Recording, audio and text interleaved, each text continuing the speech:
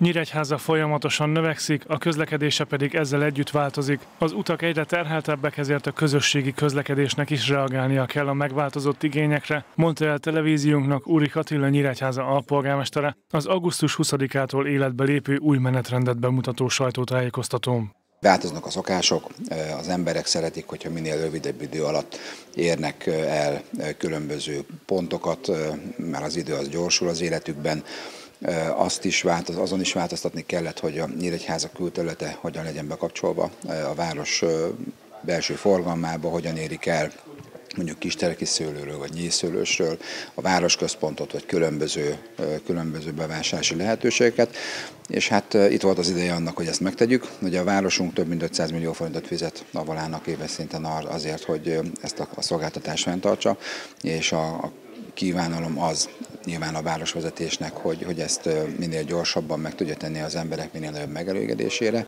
Az alpolgármester hozzátette, a megújult buszokkal és a megváltozott menetrenddel az a város célja, hogy a közösségi közlekedés még görülékenyebb legyen.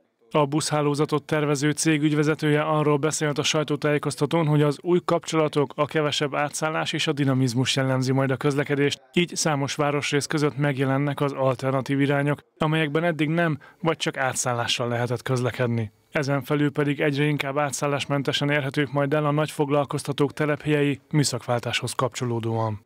Az ütemes közlekedés pedig arra vonatkozik, hogy sokkal megjegyezhetőbbek lesznek az indulási időpontok, jellemzően óránként, fél óránként, negyed óránként közlekednek az autóbuszok kiszámíthatóan, Nyilván ettől a reggeli délutáni csúcsidőben, illetve műszakváltások során vannak kisebb eltérések, de arra törekedtünk, hogyha ütemes, ismétlődő időpontokban közlekednek az autóbuszok, akkor sokkal jobban hangolhatók egymással, illetve átszállások esetén sokkal jobb csatlakozások biztosíthatók, így pedig az utazások tervezhetők. Igaz ez egyébként arra is, hogy a, a Nyíregyházi vasútállomáson jellemzően minden óra, minden óra fél környékén azt megelőzően érkeznek a vonatok, és minden óra fél után indulnak tovább.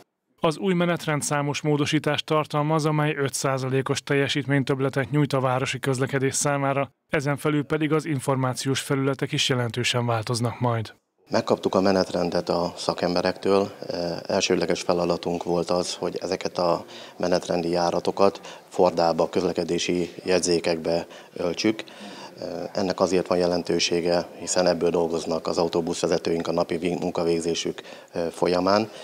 Úgy sikerült összeállítani ezeket a jegyzékeket, hogy a csúcsidei napi forda igény az 72 darab fordát, közlekedési jegyzéket tesz ki. A napi feladatok ellátásához elengedhetetlen forgalmi tartalékoknak az üzembeállítása különböző zavarok esetén. Ezt három darab forgalmi tartalékkal tudjuk még lebonyolítani. A jegyzéket tekintve indulási jegyzéket tekintve, megállóhely indulási jegyzéket tekintve körülbelül 700 darab jegyzékről beszélhetünk. Ennyi keretet, illetve indulási jegyzéket fognak a kollégáim a napokban kihelyezni.